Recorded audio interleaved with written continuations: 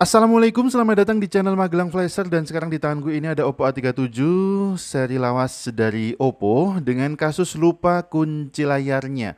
Kebetulan untuk kunci layarnya berupa pin atau sandi, jadi kita tidak bisa melihat sandi atau pin pada handphone ini. Berbeda ketika handphone ini menggunakan kunci layar model pola, mungkin kita masih bisa melihat bentuk polanya menggunakan aplikasi Miracle Thunder Edition. Untuk yang menggunakan mode kunci layar pola, jika ingin melihat melihat bentuk atau gambar pola kunci layarnya, silahkan simak tutorialnya sudah kutaruh di pojok kanan atas video ini. Sementara itu, untuk model kunci layar pin atau sandi, kita tetap harus melakukan reset pada handphone ini. Silahkan siapkan komputer dan kabel data. Langsung aja kabel datanya kita colokkan ke komputer, dan selanjutnya handphone ini bisa kita matikan terlebih dahulu. Tekan tombol power, kemudian kita pilih geser ke kanan untuk mematikan. Setelah handphone mati bisa kita dulu, kita akan bergabung dengan tampilan Windows kita. Karena handphone ini menggunakan model kunci layar berupa pin atau sandi, jadi kita akan mereset total handphone ini. Sebelum kita menjalankan toolnya, Windows yang kita gunakan wajib terinstall driver Qualcomm. Jadi teman-teman silahkan install dulu drivernya, ikuti langkah pada video ini saja.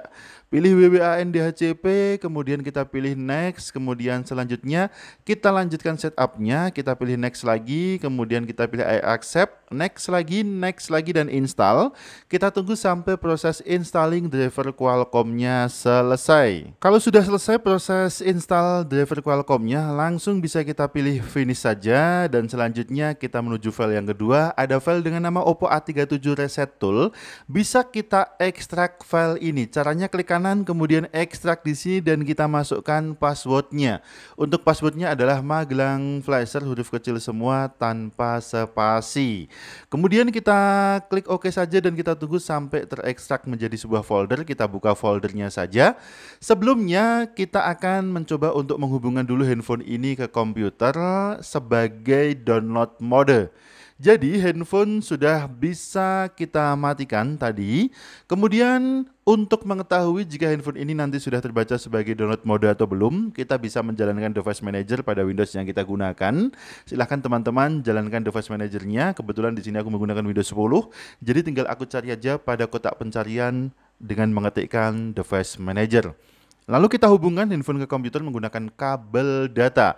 Untuk masuk ke download mode, silahkan gunakan kabel data yang bagus. Tampaknya salah kabel data ya. Tadi kabel data yang aku pakai ternyata kabel data Type-C. Sementara Oppo A37 ini masih menggunakan micro USB. Oke, kita sudah ganti kabel data. Untuk masuk ke download mode, kita perlu menekan kedua tombol volume. Jadi volume atas dan volume bawah kita tekan secara bersamaan bisa menggunakan jempol di tangan kiri kita atau menggunakan dua jari dengan tangan kanan kita. Sambil menekan dan menahan kedua tombol volume, kita hubungkan handphone ini ke komputer menggunakan kabel data dan perhatikan pada device manager akan terbaca sebagai Qualcomm HS USB Key Loader 9008. Kalau masih belum terbaca berarti ada masalah dengan kabel datanya atau dengan colokan USB pada komputer yang kita gunakan. Ini tampaknya handphone masih belum mau terbaca ya. Kita coba cek dulu kabel datanya atau kita langsung ganti kabel data aja. Sudah dua kali kita ganti kabel data di awal tadi karena salah kita menggunakan kabel data Type-C. Sekarang kita ganti kabel data micro USB lainnya. Oke, langsung aja kita tekan dan tahan kedua tombol volume menggunakan jempol di tangan kiri kita dan kita hubungkan handphone ke komputer menggunakan kabel data. Kita tunggu apakah handphone terbaca oleh device manager ternyata belum terbaca ya, kita akan coba untuk mengulangi menyalakan handphone ini. Jadi kalau handphone sudah terlanjur mati, tidak terbaca oleh device manager, dan handphone tidak bisa dinyalakan dengan menekan tombol power, teman-teman bisa menyalakan handphone ini dengan menekan kombinasi tombol, yaitu tombol volume atas dan tombol power. Oke ini dia handphonenya. Kita letakkan dulu kita tunggu sampai proses loadingnya selesai. Kalau handphone sudah menyala kita cek dulu. Tampaknya tidak ada pengisian daya baterai tidak ada indikator charging berarti masalah ada di kabel datanya lagi. Oke kita ganti lagi kabel data yang lain kita sudah ganti empat kabel data ini. Oke, kita coba untuk hubungkan dulu handphone ke komputer menggunakan kabel data dalam posisi menyala dan perhatikan ada proses pengisian daya baterai, berarti handphone bisa terbaca oleh komputer. Langsung kita matikan handphonenya, kemudian kita hubungkan handphone ke komputer menggunakan kabel data sambil menekan dan menahan kedua tombol volume, yaitu volume atas dan volume bawah. Tekan dan tahan kedua tombol volume, lalu kita hubungkan handphone ke komputer menggunakan kabel data dan perhatikan pada device manager, handphone langsung terbaca sebagai Podcom dan LPT, kemudian di bawahnya terbaca sebagai Qualcomm HS-USB. Oh, ternyata hilang. Berarti agak lodek ya untuk plug-in charger di handphone ini atau konektor chargernya mungkin sudah kendor jadi kita bisa lakukan metode lain. Sementara ini handphonenya masih stuck di 9008 mode karena tadi kita sudah berhasil sebetulnya masuk ke download mode tapi handphone terlepas lagi tidak terbaca di Windows dan status handphone ini sebetulnya masih di 9008 mode atau download mode. Untuk menyalakan handphonenya silahkan tekan volume atas dan tombol power sampai muncul logo Oppo di layarnya. Kemudian metode menghubungkan handphone selanjutnya adalah seperti ini, biar handphone langsung terbaca. Kita tunggu dulu sampai handphonenya menyala. Kemudian kalau handphonenya sudah menyala, bisa kita matikan lagi handphonenya. Tekan tombol power, kemudian geser ke kanan untuk mematikan handphone ini. Kita tunggu ya, ini masih loading handphonenya dan posisinya handphone ini masih terkunci layarnya dengan model kunci layar pin atau sandi sama dengan tampilan di awal tadi. Jadi belum ada yang berubah. Oke, kita matikan handphone ini, tekan tombol power, kemudian geser ke kanan untuk mematikan. Dan karena konektor charger atau plug-in casnya ini lodek, maka kita colokkan dulu kabel data ke handphonenya, kemudian kita letakkan handphonenya. Selanjutnya, dalam posisi handphone sudah kita taruh, kita tekan dan tahan kedua tombol volume. Sambil menekan dan menahan kedua tombol volume, kita colokkan kabel data ke komputer dan jangan sampai tersenggol lagi handphonenya jika handphone sudah terbaca sebagai download mode. Ini dia, perhatikan pada device manager, handphone sudah terbaca sebagai Qualcomm HS USB Key Loader 9008 pada COM sekian. Intinya handphone sudah terbaca sebagai download mode. Kita langsung menuju ke toolnya, kita bisa jalankan file dengan nama run Oppo A37 reset kode CMD. Kemudian di sini ada dua opsi.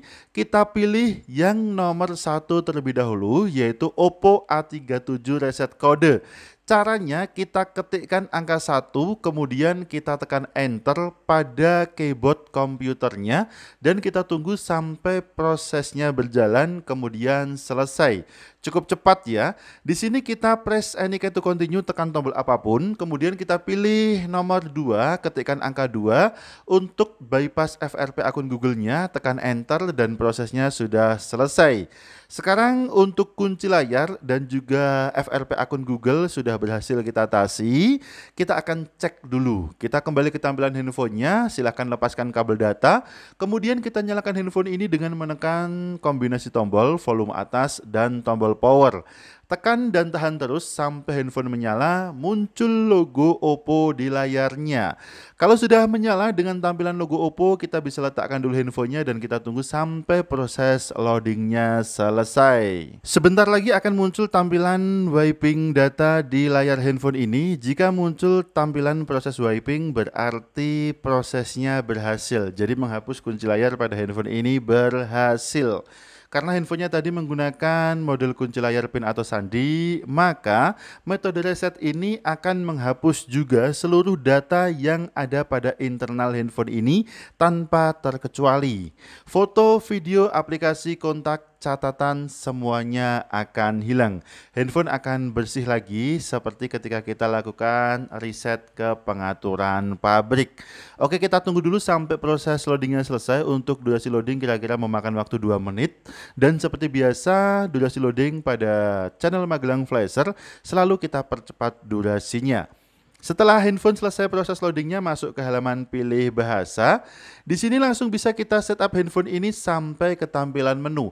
Atau jika teman-teman tidak mau melakukan setup, silahkan di halaman pilih bahasa tadi masuk ke panggilan darurat, kemudian ketikkan spesial kode bintang pagar 813 pagar, maka handphone akan otomatis masuk ke tampilan menu juga. Setup yang kita lakukan ini hanya untuk membuktikan saja jika handphone ini sudah tidak terkunci lagi akun Google-nya. Artinya selain melakukan reset kunci layar, Tool tadi juga berfungsi untuk bypass akun Google. Perhatikan handphone sudah masuk ke tampilan menu, kunci layar sudah berhasil kita reset, akun Google juga sudah berhasil terbypass. Ini adalah Oppo A37.